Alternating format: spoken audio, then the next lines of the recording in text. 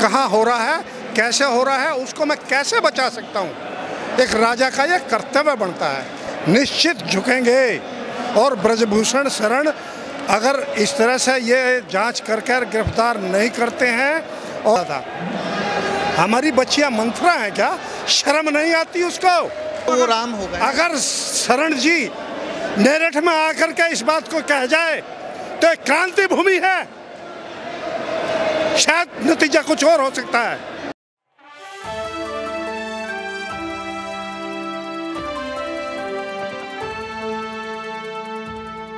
नमस्कार, आप देख रहे हैं next time news political bite और आपके साथ। मैं हूँ क्रांति सिंह। एक बार फिर हमारे आज के इस खास रिपोर्ट में आप सभी का बहुत बहुत स्वागत है। आज के इस खास रिपोर्ट में एक ऐसी वीडियो हम आपको दिखाने वाले हैं, जिस वीडियो को देख करके आप सभी के सभी शॉक्ड हो जाएँगे। ये वीडियो टिकरी बॉर्डर का है। जी हाँ ये वही टिकरी बॉर्डर है, जहाँ पर बीते कई सब बार जो है हमने किसानों को प्रदर्शन करते हुए देखा है, और ये प्रदर्शन कोई छोटा मोटा नहीं होता। हर बार ये एक अलग विकराल रूप लेकर के जो है सामने निकल करके आता है, और तमाम किसानों की तरफ़ से जो भी मांग उठाई जाती है, उसके सामने सरकार को झुकना पड़ता है। ये वही जगह है जहाँ पर इतिहास ने कई बार अपने पन्ने जो है, वो बदल दिए हैं। कई बार अपने पन्नों पर ऐसे शब्द लिखे हैं, जिसके मायने आज देखने को मिल रहे हैं। आज एक बार फिर से किसानों ने प्रदर्शन करने की ठान ली है और वो टिकरी बॉर्डर से हटने का नाम ही नहीं ले रहे हैं। अपनी तरफ़ से लगातार वो बयानबाजी दे रहे हैं और सरकार से एक नई मांग के साथ अपनी नई तस्वीर जो है, वो दिखाने की कोशिश कर रहे हैं। कौन सी है नई तस्वीर? जाने के लिए देखिए हमारी खास रिपोर्ट। संगठन के समर्थन में कई आम जनता और जनता जनार्दन एक तरीके से बोल सकते हैं और जनता जनार्दन शब्द कहने का मेरा तात्पर्य ये है कि आज लोकतंत्र को नई संसद मिली है और हमारे राजनीतिक दल ये बात हमेशा कहते हैं कि लोकतंत्र में जनता जनार्दन सर्वोपरि है।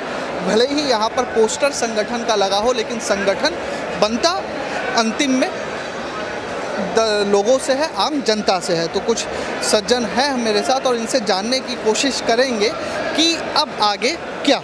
तो एक तो आप अपना परिचय दीजिए और उसके बाद मैं आपसे ये जानना चाहूँगा कि पोस्टर हम ये देख रहे हैं कि मेरठ किसान मासिक पंचायत, इस आंदोलन के मूल में क्या है? पहलवानों को समर्थन देना या किसानों की कुछ अपनी भी मांगे हैं?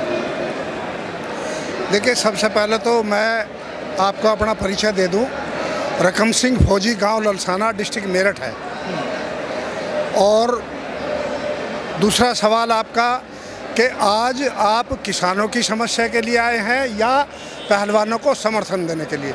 तो आज हमारे हाईकमान से आदेश हुआ था और हमारे पूर्व सैनिक संगठनों की तरफ़ से भी ये हुआ था कि ज़्यादा से ज़्यादा संख्या में पहुँच करके, क्योंकि हमारी जो बच्चियों के साथ अन्याय हुआ है और उनको अभी तक न्याय नहीं मिला, एक महीने से ऊपर उनको हो गया है, उनको समर्थन दिया जाए। लेकिन मुद्दा साहब ये है कि एक तो आप गुस्सा मत होइएगा, नहीं तो आप लोग मीडिया पे गुस्सा बड़ी जल्दी हो जाते हैं। मुद्दा एक ये है कि कुछ सोशल मीडिया पे अगर आप जाएँगे और आज का या कल का या परसों के कुछ बाइट्स आप देखेंगे, बातें सुनेंगे तो ये मुद्दा साहब ये आ रहा है कि किसानों किसानों ने या संगठन ने, कुछ संगठन ने एक तो ये आंदोलन जो महिला पहलवानों का था, एक तो हाईजैक कर लिया। और दूसरा मुद्दा ये है साहब कि महिला पहलवानों को जन समर्थन नहीं मिल पा रहा, जैसा किसान संगठनों को दो साल पहले मिला था, इस वजह से संगठन भीड़ जुटाने के लिए आ रहे दोनों सवालों पे मैं आपकी प्रतिक्रिया नहीं, ये बिल्कुल आपका सवाल बिल्कुल गलत है। और मैं इसका खंडन करता हूँ कि जो आपने कहा कि उनको जन समर्थन नहीं मिल रहा।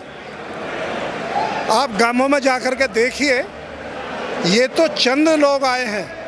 अगर उनका एक भारी मन से संदेश जनता में चला गया तो गाँव आज सड़क पर उतरने के लिए तैयार हैं अपनी बिटियाओं के लिए। और हम और कुछ नहीं मांग रहे। हमारी जो बेटियों का मान सम्मान खतरे में है इस समय और ऐसी वैसी बच्ची नहीं है वे।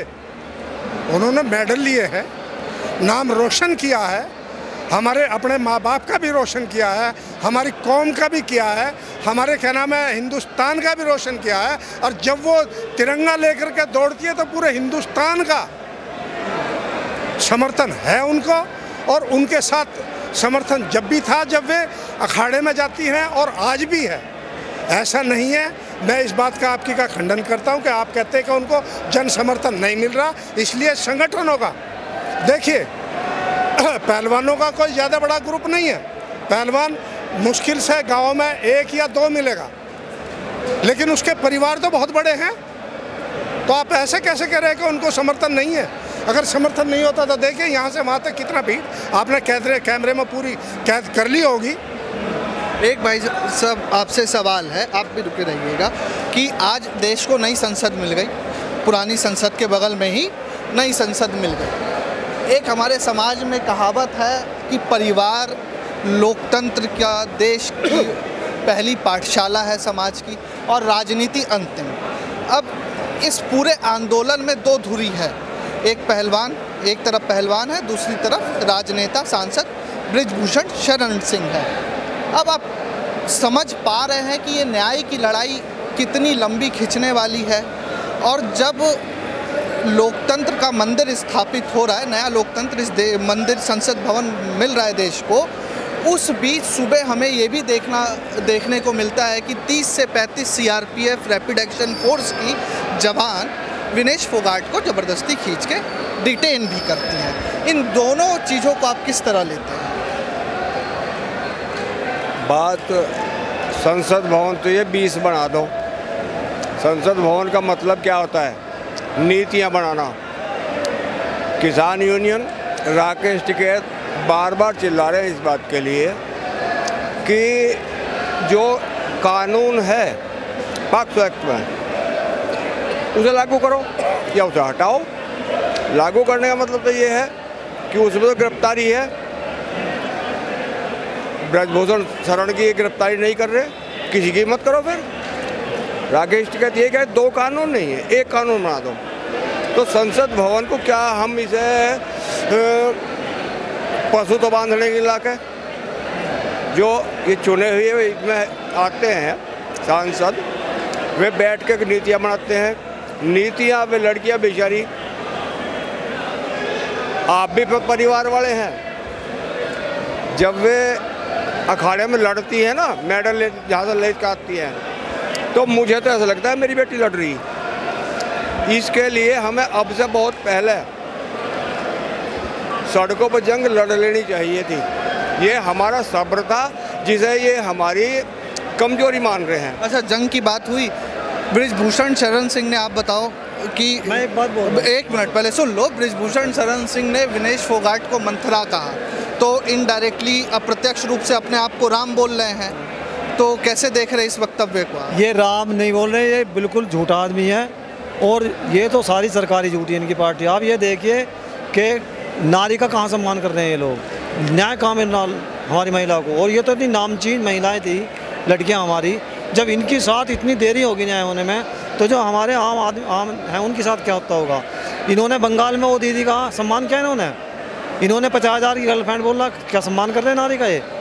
इन्होंने जर्सी गाय बोल रहे हैं नारी को क्या ये सम्मान कर रहे हैं? लेकिन बेटी बचाओ बेटी पढ़ाओ तो बोल ही रहे हैं ना वो। बेटी बचाओ बेटी पढ़ाओ इस भाजपा गवर्नमेंट का नारा था तो आज देखे बेटियाँ कहाँ बच रही हैं। क्या बच रही हैं?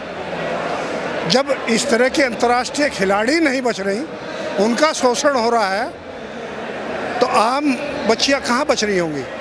रहा सवाल है कि आप बोल रहे हैं कि बच नहीं रही हैं ये बोल रहे हैं कि हमने गाँवों में उज्ज्वला योजना से गैस पहुँचा दी सौभाग्य योजना से बिजली पहुँचा दी। आप लोग बोल रहे हैं बेटी सुरक्षित नहीं। आइए देखो इसको दूसरी साइड डाइवर्ट मत करो। नहीं मैं तो सरकार की सरकार ने जो बोला वो वो बात कर हाँ। उज्ज्वला योजना आई है मेरे गाँव में मैं आपको दिखा दूँगा। वे सिलेंडर जो है ना तूड़े में पड़े हुए हैं घुस के कोठों में। उनको भरने के लिए पैसे नहीं है तो कहाँ से उज्ज्वला योजना आ गई वो?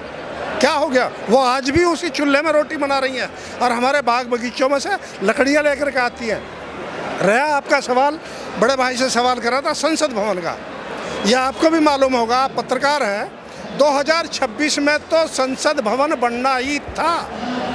क्योंकि अब जो लोकसभा होगा, उसमें आपके उत्तर प्रदेश में भी इकतालीस सीटें बढ़ के जा रही हैं। उसमें व्यवस्था 440 450 आदमियों की है। तो वो तो बढ़ना ही था।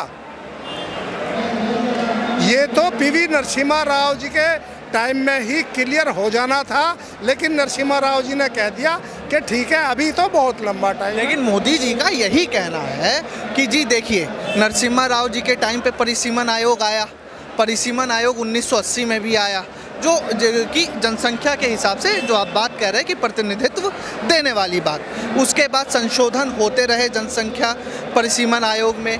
जो अभी चल रहा है, वो 2002-2006 वाला संशोधित मामला चल रहा है परिसीमन आयोग का। 2026 में जब जन बात होगी परिसीमन बढ़ेगा तो मोदी जी यही कह रहे हैं कि विपक्ष चीज़ों को लटका के रखता था। देखिए, हम आए, काम तेज कर दे रहे हैं। मुद्दा तो सारा यही है ना साहब। देखो जिसको अपनी पट्टिका लगवाने का शौक ज़्यादा होता है वो लटके हुए काम को ज़्यादा देखता है। और जिसको सिर्फ़ और सिर्फ़ अपनी जनता की परवाह होती है वो जनता के मुद्दों को उठा करके चलते हैं। और जनता का शोषण कहाँ हो रहा है कैसे हो रहा है उसको मैं कैसे बचा सकता हूँ? एक राजा का यह कर्तव्य बनता है। अच्छा भविष्य में साहब आपसे तब मैं बात करूँगा। भविष्य में अगर ये आरोप लग गया देखिए हम पत्रकार आदमी अब घेर मत लीजिएगा। भविष्य में ये आरोप लग गया कि आपने महिलाओं का आंदोलन पहलवानों का आंदोलन हाईजैक कर लिया। तब कैसे निपटिएगा? सवाल बड़ा है आने वाला है एक दो दिन में आ भी जाए। आंदोलन बड़ा होगा। नहीं नहीं ये कह देंगे कि जी ये पहलवानों का आंदोलन आपने कब्जा कर लिया। ये दो तीन दिन में चीज़ें समर्थन है कब्जा क्या में कर लिया। ये तो समर्थन है उनपे देखो मैं थोड़ा सा विषय सीरियस है। हाईजैक कर लिया कैप्चर कर लिया, कुछ कर लिया। इसे थोड़ा पीछे चलो ना। काम क्या है? उज्ज्वला दे दो, हमारे सिर पर नोट पे गठरी रख दो, हमारी बेटी से बलात्कार कर लो। गाँव गली में तो हमें पता, भाई रुखी सुखी खा के इज़्ज़त के साथ अपने घर में बैठे। किसानों की मांग आपने सुनी। पहलवानों को लेकर के किसानों के आँखों से जो दर्द छलक रहा है, ज़ाहिर सी बात है, उसने हर किसी का दिल जो है वो झकझोर के रख दिया होगा। बहरहाल, हम आपसे जानना चाहते हैं इस रिपोर्ट को देखने के बाद आप लोग क्या तर्क है? कमेंट बॉक्स में आप हमें ज़रूर बताइएगा। अभी के लिए बस इतना ही। देश दुनिया की तमाम बड़ी खबरों के लिए देखते रहिए next nine news political bite